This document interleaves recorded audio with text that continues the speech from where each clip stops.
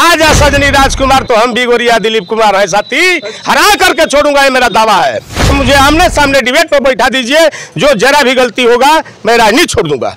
साथियों, नमस्कार, आप देख रहे हैं वी न्यूज़ मीडिया इस वक्त विधानसभा रसड़ा अंतर्गत उपस्थित है। ये लोकसभा घोसी का क्षेत्र है। तमाम जो है पार्टियाँ चुनावी अखाड़े में ज़ोर आजमाइश कर रही है। सामने कुछ लोग हैं। आइए बात करते हैं और इनसे ही खास जानकारी अवगत करते हैं। पहले अपना परिचय बताएँ। मेरा परिचय है मोती चंद राजभर निवास स्थान चितौनी रसड़ा बलिया का निवासी हूँ। मैं स्वलदेव स्वाभिमान पार्टी में प्रदेश उपाध्यक्ष के पद पे कार्य करता हूँ। चुनाव आ गया है। सब पार्टियाँ एनडीए इंडिया आमने सामने जो है चुनावी अखाड़े में उतरी है। उतरी है तो अपना अपना दल है अपना अपना ढोलक लोग बजाएँगे। हम लोग तो स्वदेश स्वाभिमान पार्टी के हैं और सपा से लाइन्स हम लोग का है सपा से तालमेल है सपा के साथ है। और सत्तर घोषी लोकसभा पे मजबूती से स्वदेव स्वाभिमान पार्टी लड़ाई लड़ने की काम करेगी और सब सपा को जिता करके सदन में ऊंचे- ऊँचे सदन में भेजने के काम करेगी। घोसी से अभी सुभाषपा पार्टी के जो मुखिया है ओम प्रकाश राजभर के बेटे अरविंद राजभर चुनावी मैदान में उतर गए हैं। आप लोग के पार्टी से कोई उम्मीदवार अभी खड़ा नहीं हुए?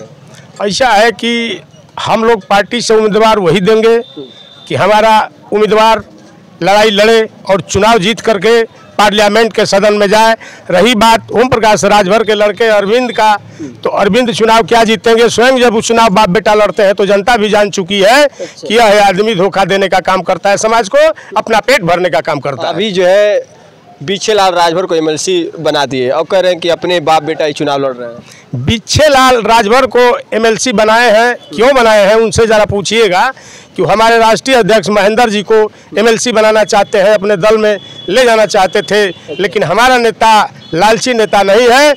गरीबों का हमदर्द है हम नेताओं का हमदर्द है हमारा नेता बिकाऊ नहीं है टिकाऊ है। बिच्छे लाल को उन्होंने एमएलसी बना करके धोखे में डालने का काम किया है कि मऊ में हम हल्का कर देंगे। उनके हल्का एमएलसी बनने से और हल्का करने से स्वदेश स्वाभिमान पार्टी हल्का कभी कतई कदाप नहीं होगी। और ओम प्रकाश राजभर ओम प्रकाश राजभर को लाने का काम हमने किया था साथी। अच्छा। 2003 13 जुलाई दिन अतवार को हमने लाने का काम किया था। 2003 में आए वो वो भारतीय समाज पार्टी बनाए थे। मैं स्वलदेव राजभर संगठन बनाया था और चलाने का काम करता था जब वो आए तो स्लोगन बोलना उन्होंने शुरू कर दिया माननीय मायावती जी की सरकार थी 2003 में। यहाँ के स्वर्गीय घूराराम जी विधायक रहा करते थे सिटी के। उन्होंने आए तो पार्टी पर उलासना लगाना शुरू कर दिया कि कुड़कुड़ कुड़कुड़ करती है भटोली में और अंडा देती है चमटोली में, ज़ोर खाती है भटोली में और अंडा देती है चमटोली में। साथी, एक चीज़ और आपको मैं बता देना चाहता हूँ। हमने माइक संचालन कर रहा था, माइक को हमने छीन लिया। कहा कि आप किसी पार्टी के टीका टिप्पणी करने के लिए आपको मैंने नहीं बुलाया है। मैं संगठन का काम चलाता हूँ। सारे दल के सारे दल के कार्यकर्ता नेता जो हैं वो मेरे राजभर संगठन में चल रहे हैं। अन्यथा ऐसा भाषण देने का काम न करें। क्या लग रहा है? अब ये कहा जा रहा है कि एनडीए के साथ गठबंधन में अरविंद राजभर को कोई टक्कर देने वाला भी नहीं है। ऐसा है श्रीमान मैंने कह न दिया। कि वो अपनी जमानत जिस दिन बचा ले वही बहुत बड़ी उनके लिए उपलब्धि होगी। और सुभाषपा के राष्ट्रीय अध्यक्ष को उपलब्धि मिलेगी। उनको तो भाई बनारस जाना है। मैं तो चैलेंज से कहता हूँ कि ओम प्रकाश बलिया छोड़ बनारस जाओ।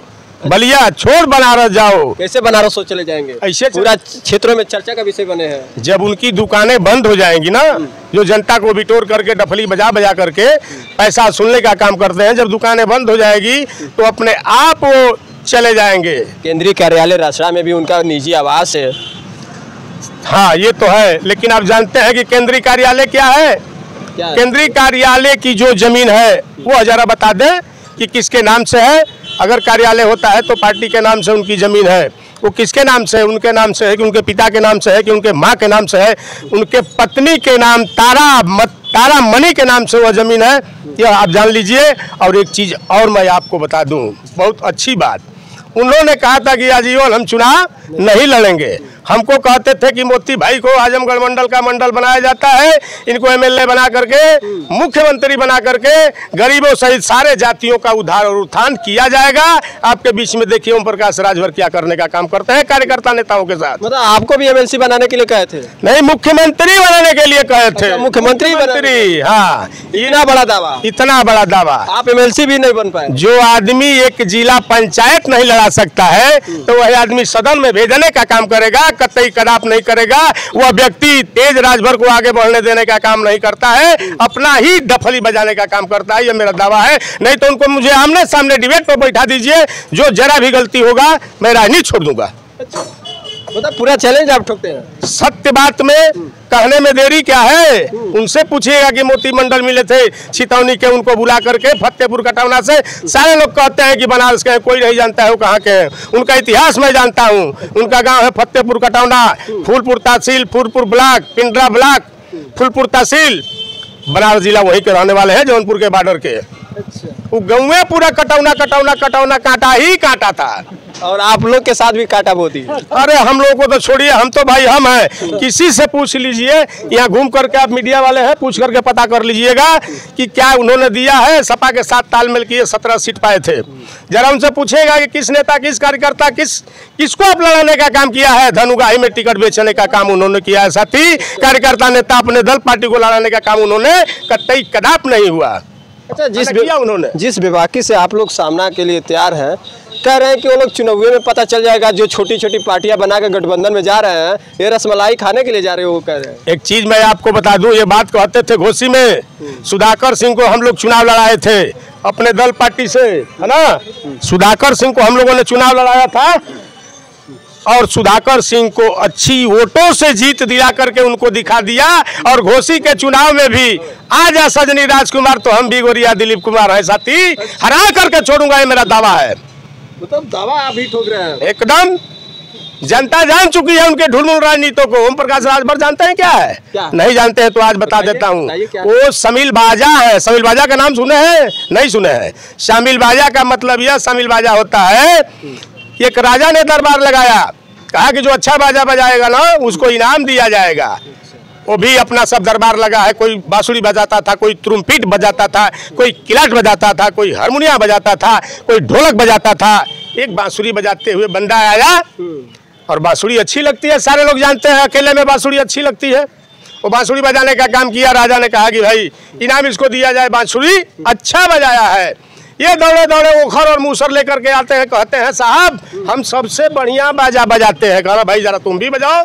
तो कह रहे हैं कि, ऐसे नहीं बजेगा, सारे बाजा बाजेंगे, तब ये बाजा बाजेगा। अपना सारे बाजा, जब सारा बाजा बाजी तो अच्छा लगबे करी। और करीब ये संगी लेके कूदना शुरू कर दिए।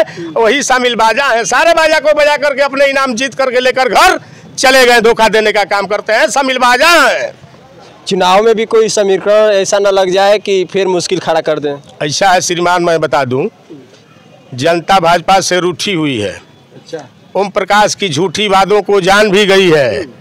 अब तो साफ़ रास्ता है सोलदेव स्वाभिमान पार्टी और सपा के लोग के साथ हमारा तालमेल है। चुनाव हम दोनों जीतेंगे मोहम्मद हमारे साथ है यादव मेरे साथ है जितने गरीब जातियाँ हैं कुछ कुछ उनको वोट मिलेगा ये मैं मानता हूँ लेकिन चुनाव नहीं जीतेंगे। क्षेत्रों में जा रहे हैं कह रहे हैं कि जहाँ भी जाइए सुभाषपा के सभी जो है करकाता ही नज़र आ रहे हैं। कोई खाड़ा चुनाव मैदान में है ये नहीं है लड़ाइए ना है। उन्होंने कहा था अपने कार्यकर्ता से कुछ दिन पहले कि देखो भाई उज्जर गमछा मत लगाओ, पच्चीस रुपये का गमछा खरीद लिया। ऐसा ही लगा लिया। चल जाइए दरोगा जी की है। कहिया कि देखा है, मैं ओम प्रकाश लौकत हूँ दरोगा बेचारा खिसिया के पहले ही मार के इनको खेत दे रहा है। कहता ना कि डीजी नहीं बोलेगा डीआईजी नहीं बोलेगा आईजी नहीं बोलेगा डीएम नहीं बोलेगा कोतवाल कौन होता है वो का बोलेगा? अभी देखे हैं नंदनी उनकी कार्यकर्ता थी उनका कत्ल हुआ एक बार भी वो आदमी जाने का काम नहीं किया क्या वो रक्षा करेगा जनता का और नेता का कार्यकर्ता का? अभी इनका कार्यकर्ता पीटा गया है क्यों नहीं? सो स्विच इनका ऑफ़ हो जाता है बात नहीं होती है। ये है ओम प्रकाश राजभर साथी मैं जानता हूँ। कहीं ना कहीं ये चुनावी में कुछ और खुलासा होगा। ओम प्रकाश राजभर को लेकर जैसे आप लोग पहले ताल्लुक रखते थे इस पार्टी से आप लोग भी कभी आगे बढ़ने का काम किए इस पार्टी को बढ़ाने का काम किए इस पार्टी से बगावत करने में तुम ऐसा है कि जहाँ पाँच परिवार है और बेमानी करेंगे तो परिवार में बगावत हो जाता है ये तो दल है। दल में आप सबकी मदद नहीं करेंगे तो क्या बगावत नहीं होगी? सही नहीं बोलेंगे तो बगावत नहीं होगी। हमेशा झूठा चार सौ बीसी फ्राड गिरी फ्राड की बात करेंगे तो बगावत नहीं होगी। बताइए तो होगी ही जब घर में अगर मुखिया है और चार भाई हैं तो चारों को अगर सामंजस्य बराबर नहीं देखेगा तो बगावत नहीं होगा। ए हम अलगा रह तोहरी में ना रह तो ये तो लाजिम सी बात है। ये कौन सी बुरी बात है? तमाम लोग हैं और थोड़ा सा इन लोग से भी हम चाहेंगे क्या चुनावी माहौल है? यही सब जानते हैं। क्या लग रहा है एनडीए या माहौल इंडिया है? इंडिया या इंडिया इंडिया नहीं बोलता। इंडिया या इंडिया ठीक बा हो। ठीक है बताइए। क्या? चुनावी माहौल क्या है एनडीए या इंडिया इंडिया जी। इंडिया हाँ।